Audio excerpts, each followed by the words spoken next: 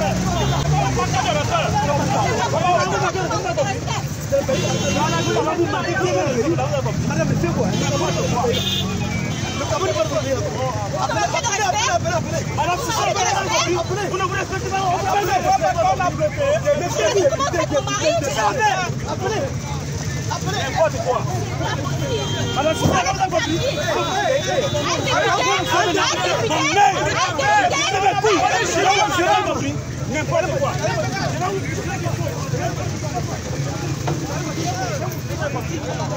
Mon ami, c'est une, une députée. Faites attention.